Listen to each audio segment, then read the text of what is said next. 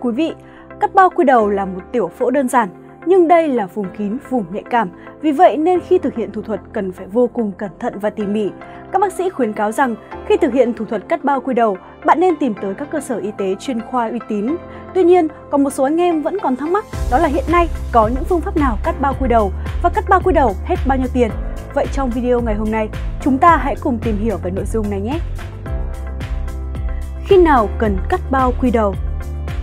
Bao quy đầu là bộ phận bao bọc bên ngoài xương vật, có tác dụng bảo vệ quy đầu khỏi tác động từ bên ngoài, có thể gây tổn thương như bụi bẩn, vi khuẩn có hại. Lớp da này sẽ tụt xuống khi các bé trai đạt độ tuổi từ 4 tuổi trở lên. Tuy nhiên, với nhiều trường hợp đến tuổi dậy thì mà bao quy đầu không tự tụt xuống được thì bắt buộc phải can thiệp y tế. Đối với trẻ nhỏ, bé trai sau khoảng 7 đến 10 tuổi mà không có hiện tượng bao quy đầu tự tụt xuống khi dương vật cương cứng hoặc dương vật của bé có dấu hiệu viêm nhiễm do hẹp hoặc dài bao quy đầu, nước tiểu không thoát hết ra ngoài gây lắng cặn. Lúc này, bé cần tới cơ sở y tế thăm khám, nếu cần thiết, bác sĩ sẽ chỉ định cắt bao quy đầu. Đối với nam giới trưởng thành, cần phải cắt bao quy đầu trong những trường hợp sau.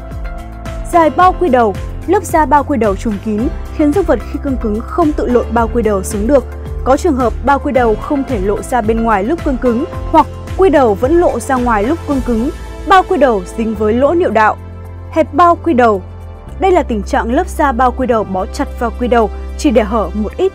Bao quy đầu bị nghẹt Đây là tình trạng da bao quy đầu dính vào đầu dương vật khiến quy đầu không lộn được ra bên ngoài. Ngoài ra, nam giới cũng cần phải chú ý bất kỳ dấu hiệu bất thường nào ở bao quy đầu cũng đều cần phải được đi thăm khám để được chỉ định điều trị phù hợp và kịp thời. Nhưng bất thường ở bao quy đầu nếu để lâu dài sẽ dễ gây viêm nhiễm nam khoa, viêm bao quy đầu, gây xuất tinh sớm, yếu sinh lý và thậm chí là ảnh hưởng tới sức khỏe sinh sản của nam giới, gây vô sinh. Hiện nay, các bệnh viện, phòng khám đã và đang áp dụng những phương pháp cắt bao quy đầu dưới đây. Phương pháp truyền thống đây là phương pháp cắt bao quy đầu cổ điển nhất. Bác sĩ sẽ dùng dao phẫu thuật được vô trùng để can thiệp trực tiếp, cắt lớp da bị hẹp, sau đó khâu lại vết thương. Phương pháp này hiện nay ít được áp dụng và cũng ít được lựa chọn do khả năng gây nhiều đau đớn cho người bệnh. Sau phẫu thuật sẽ để lại sẹo, thời gian hồi phục lâu, dễ bị nhiễm trùng. Cắt bao quy đầu bằng laser Phương pháp này hiện đại hơn khi sử dụng tia laser nhiệt năng phù hợp để cắt bỏ phần da bao quy đầu thừa ra. Phương pháp này an toàn và không gây nhiều đau đớn cho người bệnh. Thời gian thực hiện nhanh, bệnh nhân có thể ra về ngay sau khi phẫu thuật, thời gian phục hồi cũng nhanh hơn. Tuy nhiên, vẫn có thể để lại sẹo. Cắt bao quy đầu thẩm mỹ công nghệ mới 4.0 là cách ứng dụng các phương pháp hiện đại nhằm bóc tách phần da quy đầu rồi cắt bỏ nhanh chóng. Thao tác thực hiện nhanh, ít gây đau đớn, không để lại sẹo và hoàn toàn không ảnh hưởng tới sức khỏe sinh sản hay khả năng tình dục của nam giới. Mặc dù chi phí của phương pháp này có cao hơn, vẫn được các chuyên gia và bác sĩ khuyên nên áp dụng bởi tính an toàn và hiệu quả cao. Cắt bao quy đầu hết bao nhiêu tiền?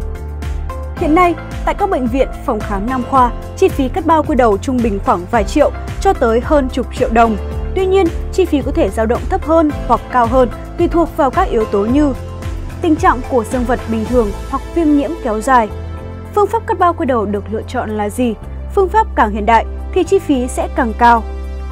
Trình độ bác sĩ cao, cơ sở vật chất, kỹ thuật của bệnh viện hiện đại, dịch vụ tốt sẽ đem lại sự thoải mái cũng như chi phí cắt bao quy đầu cũng sẽ cao hơn. Như vậy, cắt bao quy đầu hết bao nhiêu tiền sẽ tùy thuộc vào việc bạn lựa chọn dịch vụ, cơ sở thực hiện, phương pháp thực hiện và tình trạng bệnh của bạn trước khi thực hiện cắt bao quy đầu. Việc cắt bao quy đầu nên thực hiện càng sớm càng tốt để tránh nguy cơ viêm nhiễm và gây đau đớn trong quá trình làm thủ thuật.